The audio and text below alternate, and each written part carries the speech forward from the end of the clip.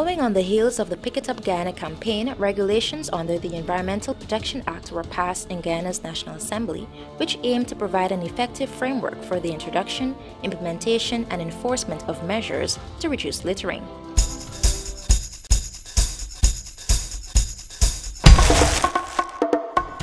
We must do everything we can to keep our surroundings clean. Stop littering. Do the right thing.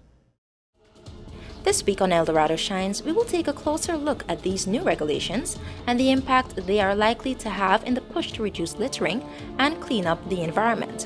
To tell us more, here is Clint Babulal. The litter enforcement regulations is officially known as the Environmental Protection Litter Enforcement Regulations and it was made legal on the 16th of November 2013 and it comes under section 68 of the Environmental Protection Act of 1996. Now, littering is littering is detrimental to our society, both socially, environmentally, as well as economically.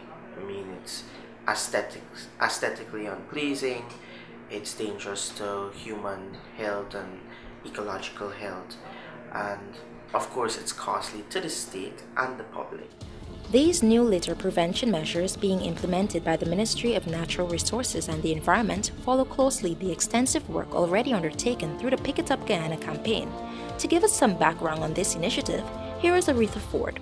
Pick It Up Guyana was or is intended to give support to the ongoing efforts to address the issue of solid waste management in Guyana.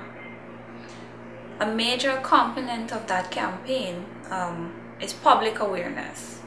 Additionally, Pick It Up would also provide support to community-based organizations, non-governmental organizations, any individual who is willing to execute some enhancement activity in their community, um, as well as guiding policy that would help to address the issue and partnering with private and public organizations um, to execute activities.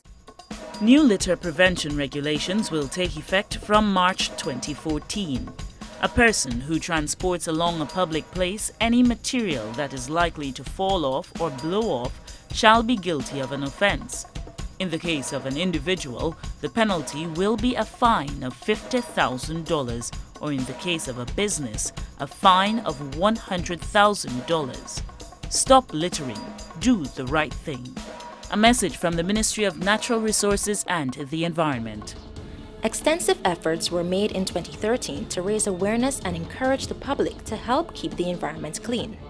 We had a lot of public awareness activities being conducted, um, ranging from presentations. We would have hosted volunteer empowerment workshops throughout the country, and we also had major collaborations with the Guyana Shines program that's coming out of the United States Embassy where we aired a documentary called Trashed that speaks about the global waste management issue and we also had collaboration with the Japan International Cooperation Agency. Um, so for any person who uses public transportation, they would see the Keep Guyana Clean stickers on buses and probably on taxis. Um, we also would have executed in collaboration with the Environmental Protection Agency the International Coastal Cleanup that looks to not only remove garbage from our coastlines but also to collect data to inform our policymakers. New litter prevention regulations will come on stream from March 2014. Stop littering. Do the right thing. Authorities will be looking to work even more closely with communities and other stakeholders in 2014 as the push to reduce littering intensifies. We will be working more with communities um, and getting them more involved in the process of waste management at that level. So we'll be looking at activities like composting, um, we will talk about waste separation at the household level. Um, one of the other things we'll focus on is strengthening the volunteer program. So we will harness the, the strengths and the capabilities of our volunteers so that they will go out into their communities and strengthen the work of Pick It Up Guyana. The public has been supportive of measures to reduce littering, recognizing the importance of maintaining a clean environment. We have received tremendous support from the general public um, with regards to it's it's a very slow process. It's sad to say that it's a slow process with regards to the change in attitude, which is what the campaign really seeks to bring about, or change in attitude towards our environment and more so um, how we dispose of our garbage. Um, we have received uh, calls from religious groups, um, from, as I said, non-governmental organizations. They've come to us and they've asked us, you know, uh, we want to do an enhancement activity for our community. We want to do this for a church. How can Pick It Up Guyana be involved? And I feel that that call from the communities themselves um, speaks volumes about the success of the program provided that we still have a long way to go in achieving that visible change that we want to see in Georgetown and of course in the wider Guyana. Moving forward, Pick It Up Guyana will now be working closely with the Environmental Protection Agency on the new litter prevention regulations, which are set to come on stream from March 2014. The litter prevention regulations is one of the regulations under the Environmental Protection Act. So naturally, the Environmental Protection Agency is the agency that will enforce those regulations. Um, we will look at the, um, the enforcement of the regulations and also prior to that there will be a public awareness um, campaign to sensitize the public on, on what the offenses are under the regulation.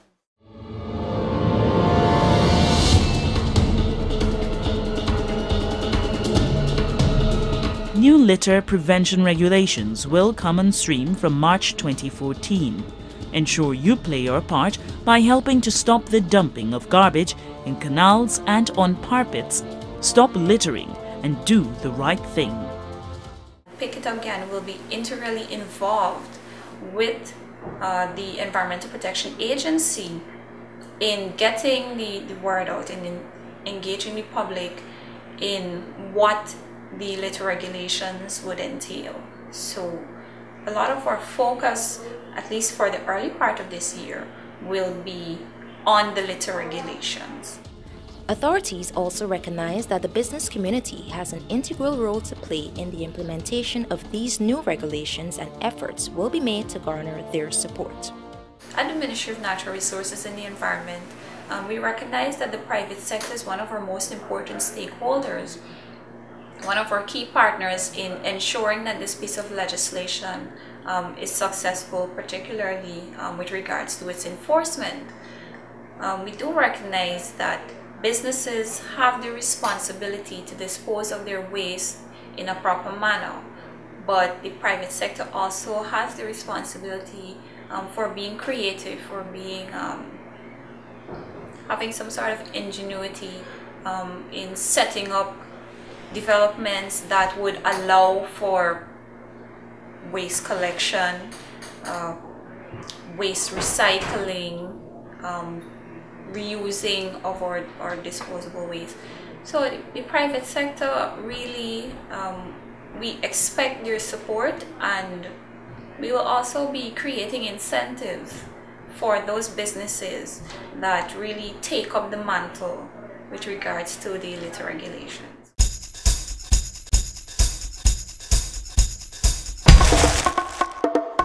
As business operators, we need to be responsible.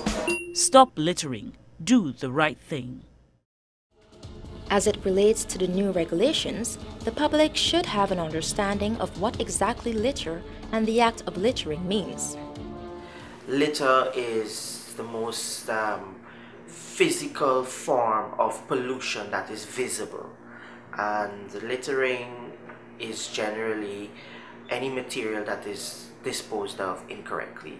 By any material, we mean it can be in a liquid or a solid form or a combination of both. And disposed of incorrectly means if litter is not placed in a receptacle or a designated area, then it is disposed of incorrectly.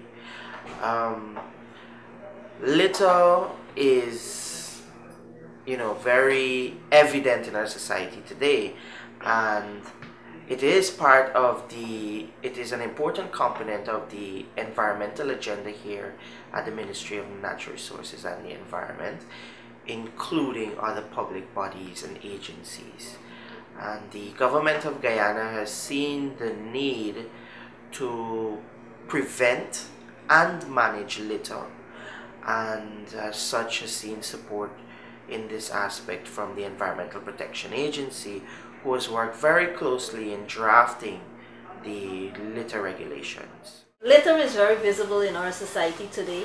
Georgetown is one of the key places where you can see a lot of litter as you walk along the streets. So it is something that is an eyesore, um, first and foremost, and you also have other health associated um, risks that um, with litter. So we need to get rid of, of, of the problem with littering, to rid the city of littering. And also littering exists in the country too, countryside too. So therefore it's something that is uh, necessary across the country, and not only in Georgetown, but the focus initially would be um, in Georgetown. And at the same time, whilst that is taking, taking off, we are going to look at the NDCs in the various um, regions. New litter prevention regulations will take effect from March 2014. Owners of public transportation shall provide in a convenient place one or more receptacles for litter. The penalty for failure to provide this is a fine of $15,000. Stop littering. Do the right thing. A message from the Ministry of Natural Resources and the Environment. Offenses listed under the new regulations target the public as well as corporate entities. Many of the offenses um, target the public and the businesses or corporate bodies, and the fines can vary from $50,000 to as much as $100,000. And um, it's very detailed.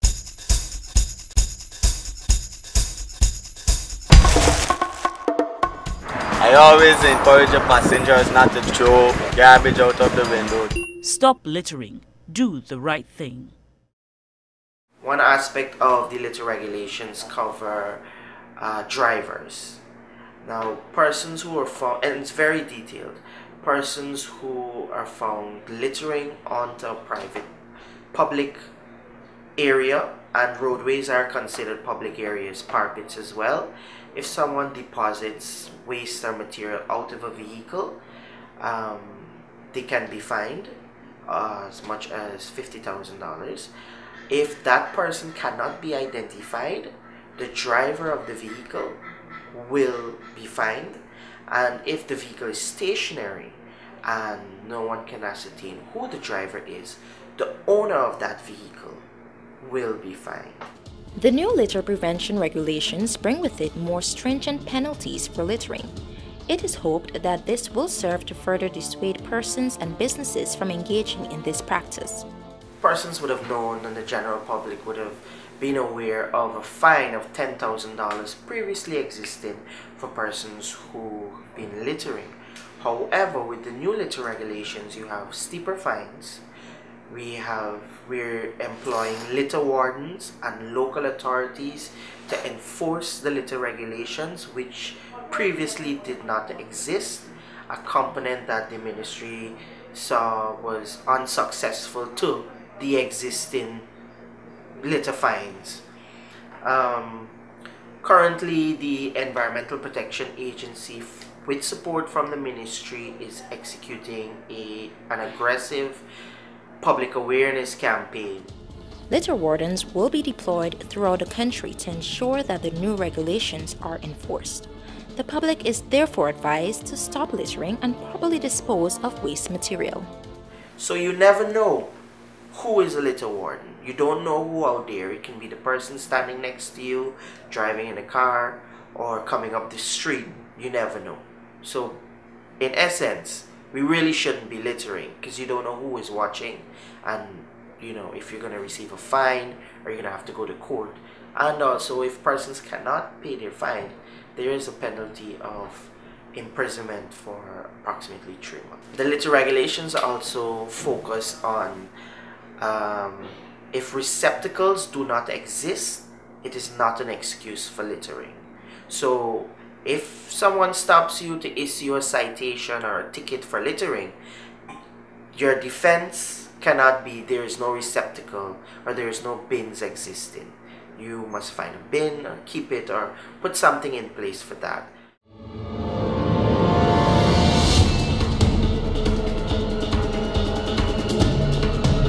Polluting waterways and vegetation through mining activities is an offense. Be responsible protect the environment.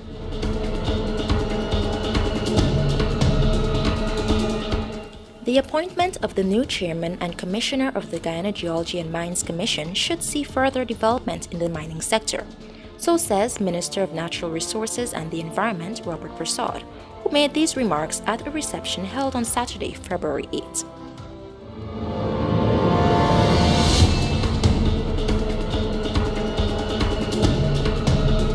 Guyana is making more lands and resources available for mineral production and investments in the natural resources sector. These initiatives are being pursued in keeping with the country's commitment to protect the environment. And not only gold that played a significant part in the Guyanese economy, but also the diamond producers, bauxite, um, stone also did very well, among other uh, minerals and this was due to some prudent management and support from the ministry in achieving these objectives or these targets that were set in 2013. Um, we wish to we wish to give our our commitment to supporting the continued support in the sector for future growth and wish the GGDMA and all other stakeholders a successful 2014. I haven't been around for a couple of weeks. I can tell you the job is big and the task is onerous. Um, we have to continue to ensure, as Dr. Ganga said, make this particular industry significant in terms of contribution to our gross domestic product, foreign exchange earnings, and therefore stabilizing our economy. And so my role as chairman of the board has been defined for me even before I came here. Um, we're working on interventions, hopefully, that we can introduce into the sector that will give us that kind of confidence that we will continue to make this sector an efficient and productive one. But we wanted to introduce formally the new chairman, Mr. Clinton Williams, whose CV and whose background I'm quite sure you are all fully aware of, I need not to recall. Only to say that he has been an outstanding leader of the private sector and someone who recognizes the role of the private sector in terms of job creation and certainly would recognize the vitality and the considerable strength of the mining sector in our country. And his, and I'm quite sure under his leadership, we will not only see continued growth, but our emphasis is on expanded growth as well as diversification. Uh, because of the unstable and the unpredictable nature of minerals, commodities as a whole, we need to diversify. We need to ensure that the wide range of potential resources that we have are fully developed, fully utilized, but also doing so in harmony with our environment as well as our social obligation. And I'm quite sure under his leadership, we will see not only continued emphasis on the policies and the programs that will promote and allow such growth, but there are a number of new ventures that we will be pursuing in this regard. And as the year unfolds and, the, perhaps in the coming period, we will be looking at some of those new areas.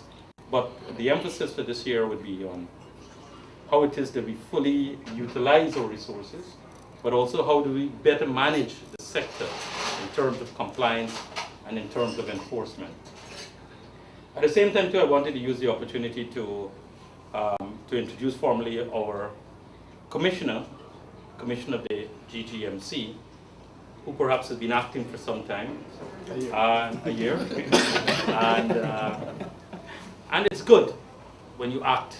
So when you're ready for the task, you perfected it, and certainly um, with his appointment and his background, both from a mining, as a mining engineer, but also his background and experience working on the environmental side, I think offers us someone at the helm with that balance who understand the realities of extraction and balancing it with the needs of the environment. And I think with his appointment, um, with Mr. Newell Dennison as the Deputy Commissioner, we are in the position of uh, just about to advertise another Deputy Commissioner and we will be strengthening in discussions with the chairman and the commissioner. Um, we will be strengthening the managerial capability and capacity of the GGMC in terms of technical, but as well as to service the organization and service our staff, because we have hard-working staff out there too, and we want to ensure that we have the best facilities. We have but nine new stations being constructed. We have a number of mobile stations for the mining sector alone being constructed. We're looking at new training opportunities, um, how it is we can support their social and other development. So it is not only about getting the work done, but also looking at the individuals who are tasked with it. Last year has been a, a quite an interesting year. We've had a record high declaration, and that is extremely um, good. And I want to salute our miners. I want to salute the GGDMA and the and all those who played a part. Salute also our dealers in this regard. But if you have the quiet conversation around, we all know that much more could have been declared. And I want to challenge everyone at the start, as, as we, we get into full production, that we seek to declare nearly on, in fact, every single ounce of gold that is produced in this country. Because we continue to receive reports within the Guyanese community and even our um, allies outside of Guyana about reports and allegations of smuggling. And I want to, and, I'm, and it is my nature, I like to throw and confront the problems up front. And I want to encourage, and I know the GGDMA has been very firm in this, but I want to encourage all others, whatever influence you have, to ensure that every single ounce is declared because that is how the people of Guyana benefit, but also it will do the sector well. I think this year we will be able to build on our achievements, um, not only the gold sector, but we've seen remarkable growth in the diamond sector. We'll also be encouraging much more prospecting and exploration activities in other minerals.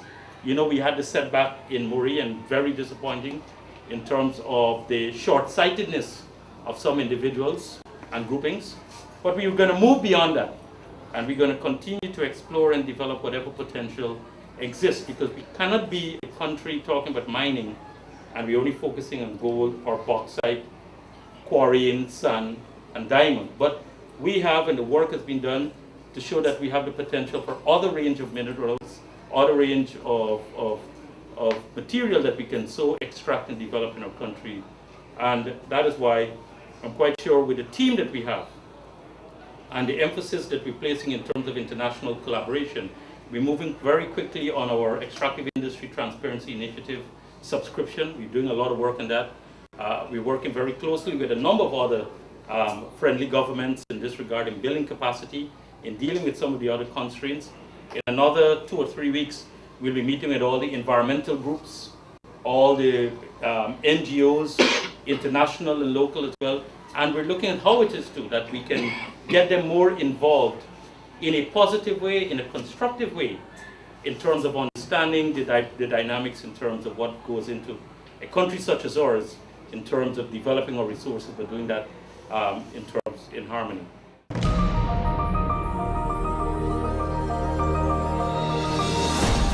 Welcome to Guyana, the gateway to South America.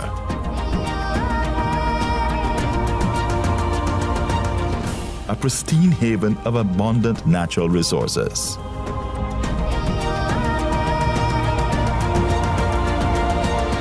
We are a nation born in sacrifice and enriched by our togetherness.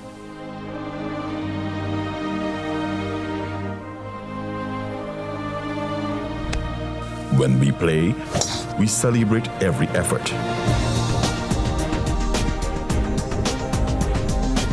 When we celebrate, we salute more than success.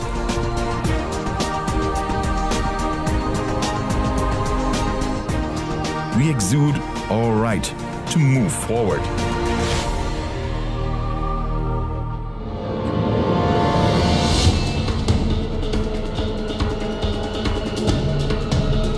New litter prevention regulations will come on stream from March 2014. Ensure you play your part by helping to stop the dumping of garbage in canals and on parpets. Stop littering and do the right thing.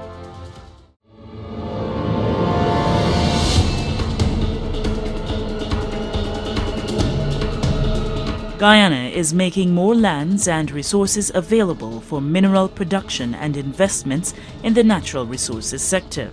These initiatives are being pursued in keeping with the country's commitment to protect the environment. You've been watching El Dorado Shines. Do join us again next week for another program. Until then, do remember that we all have a role to play in protecting the environment. Stop littering and ensure that you do the right thing.